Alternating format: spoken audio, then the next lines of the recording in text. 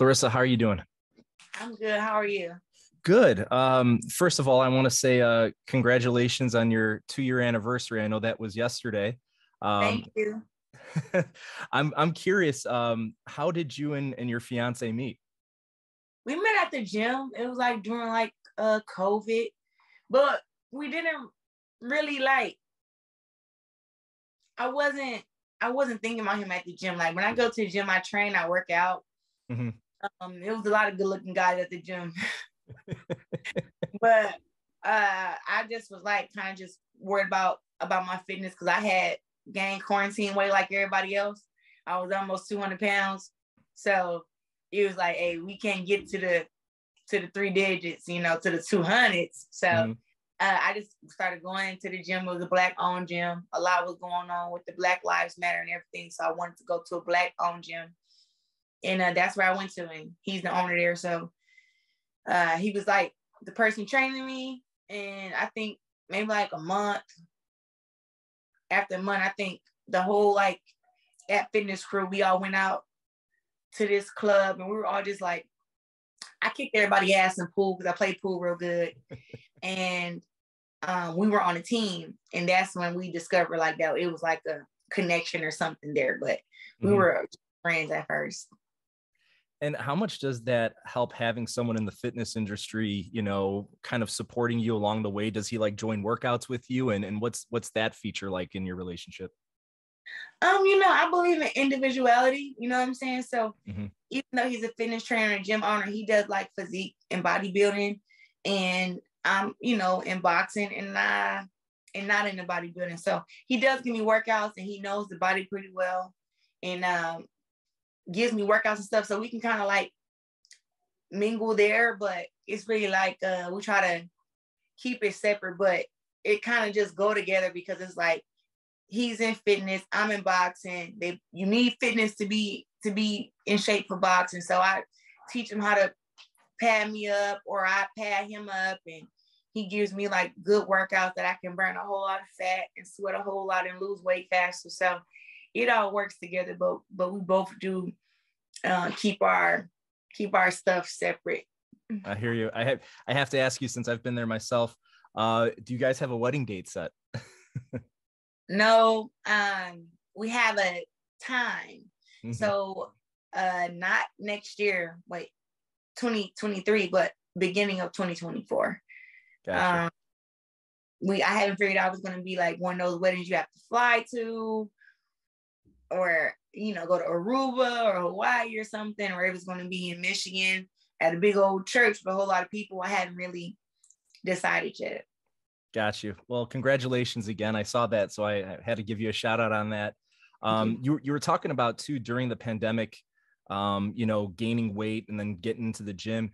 I, I think a lot of people, obviously, I had the same thing where you know you don't have a whole lot to do, so trying to stay in shape is that much harder was that like the first time that that you, you kind of saw that increase um you know in in weight and physical fitness because of that yeah yeah mm-hmm. you know um i think during like quarantine nobody was really looking in the mirror mm-hmm. because mm-hmm. there wasn't a reason to you're not going out nowhere you know you can't do nothing and a lot of mostly everything was closed so you would think you know because i was still working out every day, mm-hmm. you know but it's like you know working out and you know spend most of your time you know eating with family having a good time because the world was shut down. Mm-hmm.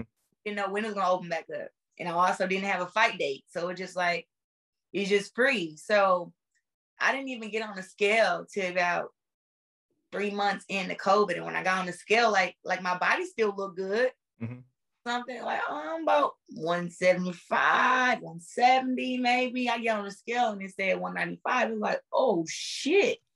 Whoa. Yo, how you gonna fight at 54 if you 195? and uh and I also was like, you know, getting getting too big for my clothes and everything. So it just was like, yeah, it's time to get back to the gym, start the hard cardio. I was going to the gym two, three times a day and I got the weight off pretty pretty fast. Yeah. I was gonna say that I feel like that's something that that the majority of people can relate to. I know I can relate to that. so, um, well, I gotta say, in 2020, um, when you fought Ivana, you you got down to to 153, I want to say, pretty quickly. Yeah. Um, so as far as that, you, you said it came off pretty quickly. Um, since then, has it has it still been pretty consistent? Like, shoot, if I can, you know, lose that weight in that amount of time, I'm never gonna have a weight issue making a, a cut again. Yeah, well, since I got back down and I was fighting at 54, I also mm-hmm. was doing at 55. Mm-hmm. You know, so I haven't uh really been over 175 in the past year or 2 mm-hmm.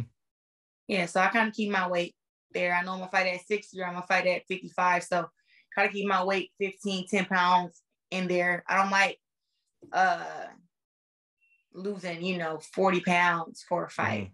It's not it. But I've never I'm I, but I'm really not that big. I could fight at 47 if I wanted to.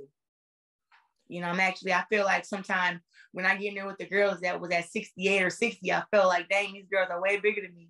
I always felt that way when I was getting when I was getting inside the ring. Like I got height, but they had size. Mm-hmm. You know. Speaking of your your training team, I know um, you've you've been working with John David Jackson, and and um, you know I know that for a while you were based out of Florida. Are you still going down to Florida to train there? Are you still living part time in Florida? Of course, I'm going down mm-hmm. to Florida yes. Mm-hmm. And how is how is that uh, how is that experience working with with the trainer? I know he's not a new trainer. I mean, you've been working with him for a while now, but how is working with John David Jackson kind of changed you as a fighter? Um, John, you know, John, John, John Jackson will tell you that since we got together, um, we already both agreed that I know what I'm doing. I know how to fight. Um, I, am not the fighter who needs you to call me in the morning and wake me up for morning runs or tell me to come to practice. Like I'm gonna be there before you sometime and I'm gonna work out more than you like, you know, because I'm like a gym rat. So really his knowledge is, is like, you know, showing me some of his tricks, you know, him, you know, um, us watching film together and us game planning together, you know. So he didn't teach me how to fight, but he has, you know, added to my game like the like the patience Mm-hmm. You know, up my fights, you know, you see these rounds where you like, she's almost out of there. You know, you, I beat Ema Kozin down. You know, when I fought against a lot of girls, I beat them down. It was no, it, it, it was no competition. But I think that the knockouts, it's a mind thing because it's like, okay, calm down and you know, landing big shots, but it's also having that switch in your mind to like, hey, okay, we didn't beat her up enough now I want you to get her out of here. It's like I'm just having so much fun in the ring and I'm in such good shape. It doesn't matter if I knock her out in the sixth round or rather I beat her down for 10 rounds. I still feel good about it. Mm-hmm. You know, so he's uh just been trying to put in my mind to settle down on the punches and kind of and trying to convince me that I would I will feel better with a knockout. And it's like I I just feel good winning. So mm-hmm. we, we are making a transition over. I almost knocked out Ema uh, Ema Kozin a lot in our in our fight. It's been a few girls, uh Ivana Habazin, we almost knocked her out. And it's like almost, almost, almost, but it's like I dominated. So it's just like we're just trying to get me to uh settle down, sit on the punches when I when I got them hurt, re- you know, recognizing when they're when they're hurt. And I just, you know, keeping the power over the rounds. You know what I'm saying? So mm-hmm. girls will say that I got power throughout the whole fight. But it's like I wanna we've been working on getting stronger and getting faster and just being more smart and picking our shots. And I believe that um out of my 12 fights, I got two knockouts, two undisputed championships or whatever. But this will be the fight where people will see that uh I am gonna knock out Savannah Marshall. Like I'm going to catch her because she has too many flaws and she doesn't respect my power. So when you don't respect somebody's power, you don't really be paying attention. Mm-hmm. But she does a lot in her game that is going to cause her to get hit and get hit with big shots. So this fight, we're already kind of clicked on to this fight isn't going 10 rounds, it's going to be a knockout. So um we we are getting ready to stand our ground you know, use our combinations, but slow the punches down. It's not going to be, you know, I throw over 100 punches around.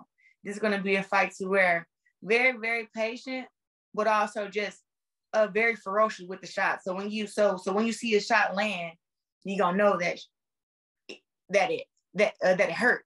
you mm-hmm. know, and that, you know, she's going to have to rearrange her whole game plan because if the game plan was to knock me out, well, you got to be able to withstand that heat before you can even think about knocking me out. And you got to land. And we mm-hmm. all know that I got great defense, you know. So we're working on a lot for this fight. But I think that um she just outmatched. She she's outmatched for this fight. Even in even in power. Mm-hmm. Power.